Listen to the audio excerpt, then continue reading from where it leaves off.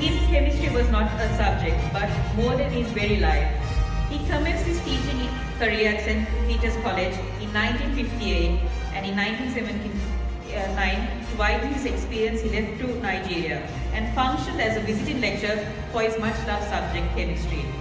On his return he, uh, to Sri Lanka, he joined Wycherley International School in 1985 until he was appointed as principal of the school in 1992 and has been, this has been since then. He is responsible for making Wycherley International School one of the premier international schools in the country. Today he has the honor of having taught eminent doctors, scientists, engineers, businessmen and entrepreneurs whose success is attributed to his teaching and holding of character. Thank you, Mr. Jayasinghe.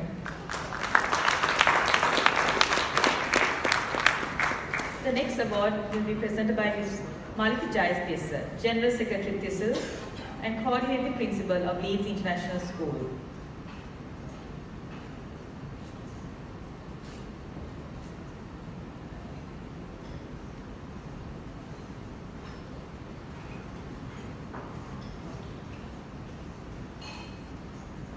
This award is presented to.